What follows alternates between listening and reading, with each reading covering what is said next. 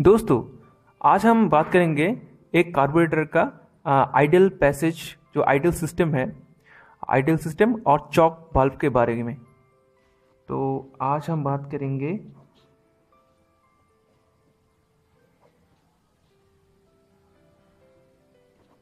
ideal idle passage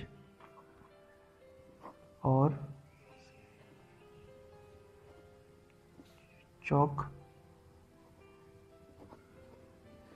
Choke Bhalpur के बारे में। तो ये दो पॉइंट के बारे में हम आज बात करेंगे। तो दोस्तों, जब थ्रोटल भाल्व क्लोज रहता है, तब ये जो वैक्यूम है, जो सिलेंडर का जो वैक्यूम है, जो सक्शन क्रिएट होता है, वो थ्रोटल वाल्व का नीचे ही, नीचे तक ही रहता है। वो वो वैक्यूम इधर तक ज़्यादा नहीं जा पाता है। थोड़ा थोड़ा थोड़ा थोड़ा वैक्यूम क्रिएट होता है, लेकिन इतना ज़्यादा नहीं। तो वो इतना कम वैक्यूम जब थ्रोटल वाल्व बंद रहता है वैक्यूम उस वक्त यहाँ पर इतना कम रहता है कि वो वो वैक्यूम वो सक्शन ये फ्यूल को खींच नहीं पाता है। तो इसके लिए ही वो आइडियल पैसेज जो है, वो पैसेज इंट्रोड्यूस किया हुआ है। दोस्तों यह है आइडल पैसेज। तो दोस्तों ये आइडल पैसेज तब आ, काम में आता है आ, ये तब एक एक्शन में आता है जब एक व्हीकल का स्पीड 40 से नीचे हो जब जब आइडल स्पीड जो है यानी यानी कि 40 तक 35 या 40 तक जो आइडल स्पीड है तो उस स्पीड में ये जो पैसेज है ये जो आइडल पैसेजेस है तब ये सिस्टम काम करता है। तो होता क्या है आइडल स्पीड में? ये जो थ्रोटल भाल्व है ये लगभग क्लोज ही रहता है या फिर स्लाइटली ओपन रहता है। तो दोस्तों जब जब ये ये जो एयर ये पैसेज में पहले आते हैं पहले आ, तब इस ये जो पैसेज है इस इस पैसेज में ही ये फ्यूल और एयर ज़्यादा मात्रा में मिक्स होता है। यहाँ पर जो मिक्सचर है, ये कुछ ज़्यादा ही मात्रा में एक रिच मिक्सचर है, जो जो हद से भी ज़्यादा रिच मिक्सचर है। लेकिन जब यहाँ पर एक जो थोड़ा सा रेस्ट्रिक्शन है, यहाँ पर थोड़ा एक होल है मानिए, इसको इकोनोमाइज़र कहते हैं इकोनोमाइज़र तो तो तो दोस्तों, ये इकोनोमाइजर से यही रिच मिक्सर फिर से ये पैसेज में आते हैं। और इधर से तो एयर आता है, थोड़ा सा लीन हो जाता है इधर, ये पैसेज में। ये तो ये पहले से फिर से बोलता हूँ दोस्तों। पहले तो ये एयर इसमें आता है, इसमें फ्यूल भी आता है फ्यूल डायरेक्टली आता है तो यहाँ पर जो मिक्सचर होता है, वो रिच मिक्सचर होता है। और इस इस पैसेज से जो, इस पैसेज में जो आता है इकोनोमाइज़र से इकोनोमाइज़र मतलब एक छोटा सा होल होल के वजह से होल के थ्रू से ये इस पैसेज में आते हैं, तब ये थोड़ा सा और भी लीन आउट हो जाता है। यानी कि थोड़ा सा ये इधर एयर आता है, ये इस मिक्सचर मिक्स होता है, लेकिन ये जो मिक्सचर है, फिर भी ये रिच है, फिर भी ये आइडलिंग मिक्सचर के हिसाब से वो रिच है। जब ये इधर आते हैं मतलब जब ये इस पैसेज से जब ये एयर हॉर्न में आते हैं, तब इधर से तो एयर आते हैं। थोड़ा सा, हालाँकि ये बंद है, हालाँकि ये जो थ्रोटल भाल्व है, ये तो बंद है, लेकिन फिर भी साइड से थोड़ा थोड़ा करके जो एयर आता है, ये जो मिक्सचर है, उसके उसके साथ फिर से मिक्स होता है। थोड़ा सा और भी लीन हो जाता है। तभी जाके वो जो मिक्सचर होता है, वो एकदम आइडल मतलब एकदम करेक्ट वो मिक्सचर होता है आइडलिंग आइडलिंग के लिए आइडलिंग स्पीड के लिए तो वो तब कंबस्टन चैम्बर में चले जाते हैं। तो पहले पहले बात तो जब थ्रोटल भाग क्लोज रहता है फुल्ली तब इधर से वो मिक्सचर आते हैं इधर, और इधर से जो हालाँकि ये थ्रोटल भाग क्लोज रहता है फिर भी साइड से थोड़ा थोड़ा करके एयर आते हैं तो ये ये मिक्सचर और एयर फिर से मिक्स होके वो एक ये जो वो एकदम ही आइडल मिक्सचर है वो कंबस्टन में चैम्बर में चले जाते हैं। लेकिन थोड़ा सा भी अगर थ्रोटल बाल्ब खोल जाए जब एक्सलेटर पेडल को थोड़ा सा भी दबाए तो ये थोड़ा खोल जाता है तब ये ये जो रिस्ट्रिक्शन है ये भी खोल जाता है। तब आ, दो ही पैसेज से आ, वो जो आइडल मिक्सचर है वो आता है। और आप देख सकते हैं कि ये आइडल मिक्सचर एडजस्टिंग स्क्रू है। इसके मदद से अब वो जो जब इंजन इंजन ऑन रहता है, लेकिन आपको व्हीकल रुका हुआ उस कंडीशन में है, तब आप ये जो मिक्सचर है, इसको एडजस्ट कर सकते हैं।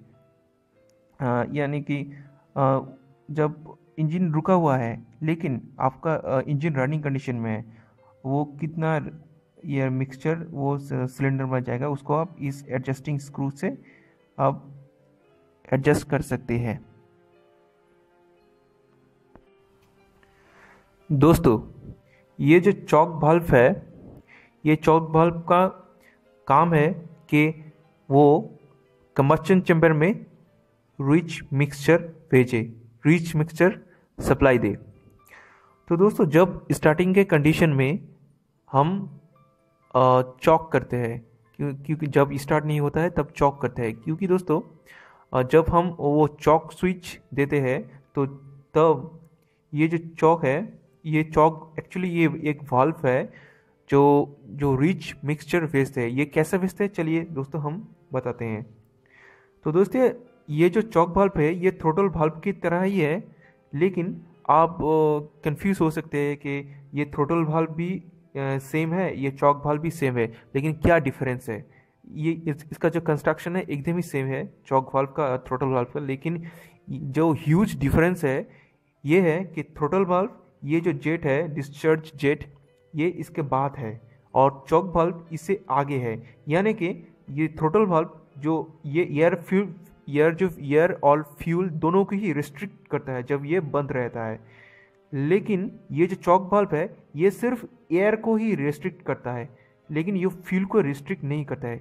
सपोज़ सपोज़ हम थ्रोटल बल्ब को खुला रखते हैं। थ्रोटल बल्ब को खुला रख दिए और जब जब थ्रोटल भाव बंद रहता है दोस्तों सपोज़ जब थ्रोटल भाव बंद रहता है, तब वो जो वैक्यूम है वो जो सिलेंडर में जो वैक्यूम की क्रिएट होता है सक्शन स्ट्रोक में, वो वैक्यूम यहाँ तक चले आते हैं, यहाँ तक। जब ये फुली क्लोज रहता है, तब ये वैक्यूम इधर भी वैक्यूम आता है, लेकिन थोड़े मात्रा में आता है। तो जब ये बंद रहता है तो ये वैक्यूम यहाँ तक आता है। लेकिन जब ये खोल जाता है, ये थ्रोटल बाब हम एक्सेलरेशन एक्सेलेटर पेडल को प्रेस करके जब हम इसको खोल देते हैं, तब यही वैक्यूम इधर चले जाते हैं। तो तब ये वैक्यूम वजह से सक्शन हो जो होता है, वो सक्शन होता है, तभी ये फ्यूल को खींचता है। लेकिन लेकिन अगर हम हवा को लाइन को रिस्ट्रिक्ट कर दें, चौक बल्ब से, तब यह तो वैक्यूम क्रिएट होता ही है, क्योंकि थ्रोटल बल्ब खुला हुआ है वैक्यूम तो वही वैक्यूम हवा तो नहीं आ रहा है, इस, इसके वजह से वही वैक्यूम ज़्यादा से ज़्यादा मात्रा में फ्यूल को खींचता है। तब वो हवा तो बहुत ही रिस्ट्रिक्टेड है तो थोड़े थोड़े मात्रा में साइड से आते हैं, ये तो है, लेकिन वो थोड़े मात्रा में हवा और ज़्यादा मात्रा में फ्यूल चले जाते हैं तो और तभी ये रिच मिक्सचर क्रिएट होता है। तो चौक बल्ब का काम ये है, जब स्टार्टिंग कंडीशन में हम, हमको ये इंजन ठंडा रहता है तो हमको रिच मिक्सचर चाहिए होता है, इसको स्टार्ट करने के लिए। रिच मिक्सचर को मतलब तो मैं पहले भी बता चुका हूँ दोस्तों, वो रिच मिक्सचर में फ्यूल ज़्यादा रहता है, वो एक ऐसा मिक्सचर है जिस मिक्सचर में फ्यूल ज़्यादा रहेगा और एयर कम रहेगा। तो तो जब जब चौक बाल बंद रहता है तो हवा को रिस्ट्रिक्शन बंद कर देता है, लेकिन थ्रोटल वाल्व का खुला हुआ रहता है, इसलिए ये वैक्यूम तो रहता ही है, यहाँ तक वैक्यूम तो रहता ही है ये सक्शन जो होता है सक्शन तो रहता है वो तो सक कर रहा है। ये हवा ही आए या फिर फ्यूल ही आए वो तो सक कर, करते ही रहेगा। तो हवा के रिस्ट्रिक्ट हवा के पैसेज तो बंद है तो वो फ्यूल को ही ज़्यादा खींच लेगा। तो इसलिए चौक बल के मदद से हम इस तरह से हम रिच मिक्सचर एक कम्बस्टन चैम्बर में भेज सकते हैं।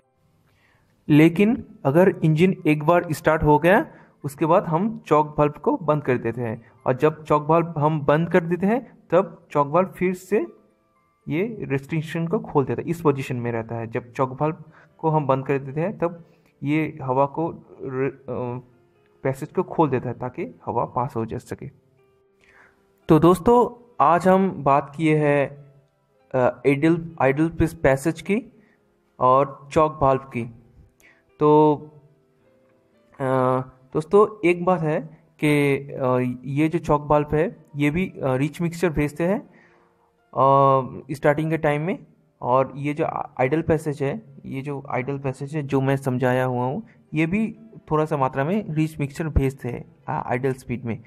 लेकिन क्या डिफरेंस है ये आइडल स्पीड आइडल पैसेज और चौक चौक बाल्ब में?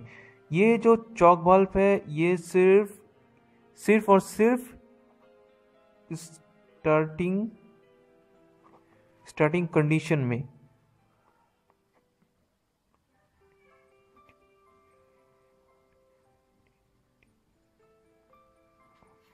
ये सिर्फ़ और सिर्फ़ स्टार्टिंग कंडीशन में जब एक सुबह सुबह जब इंजन को आप स्टार्ट करते हैं कोल्ड कंडीशन में, तभी, तब अगर स्टार्ट ना हो तो तभी हम चौक भाल्व को ऑपरेट करते हैं। लेकिन ये जो आइडल पैसेज इसको कोई ऑपरेट करने करने की ज़रूरत नहीं है। ये खुद ब खुद ही काम करता है। वो कब काम करता है? जब ये आइडल स्पीड हो।